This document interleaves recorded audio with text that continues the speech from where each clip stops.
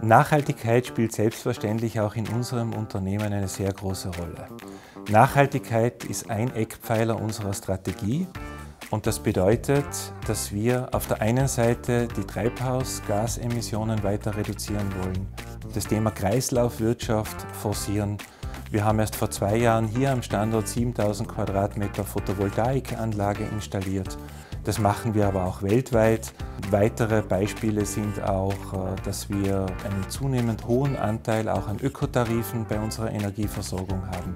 Das ist unser Beitrag zu einem nachhaltigen Wirtschaften. Aber eben auch mit unserer Strategie, dem Aufbau eines neuen Geschäftsfeldes, äh, wo wir unsere Produkte und Leistungen in neuen Industrien anbieten wollen, insbesondere im Bereich Geothermie, Carbon Capture und Storage und Wasserstoff.